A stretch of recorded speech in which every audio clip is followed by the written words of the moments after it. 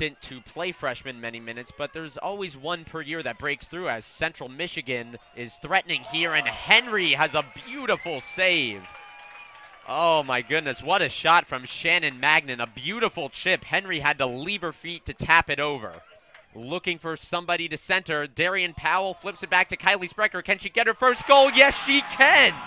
Goal number one is in the books for the freshman Kylie Sprecher from Menomonee Falls. Well, it was bound to happen soon with all the chances she's been generating. And there you have it. Kylie Sprecher's first goal as a Marquette Golden Eagle. And what a shot it was. Right past Zoe Reed. Marquette takes a 1 0 lead. They strike first. Hogark a little bit of a joust here, but she appears to have won it. Now laying it back from Mitchell and easily controlled by Henry, although there was a moment of trepidation. Pink spread wide. Nice move there by Madden. Madden. Madden with a shot just over goal.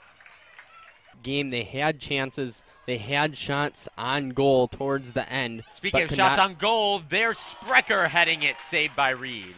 Darian Powell with a nice cross. Kylie Sprecher with the head seeking for her second goal, but Zoe Reed was able to cut her off. Junior mid is going to line up to take it. She's got three assets forward in the box, and none of them are going to get close to the ball. Maddie Henry needed to make a little bit of a handsy save on that one, but she pokes it out of bounds before she could corral it. Here's Costner, spread over to Pogark, three seconds. She's going to have one last chance at this one, and we have full time here at Valley Fields. And the Marquette Golden Eagles move to 4 and 1.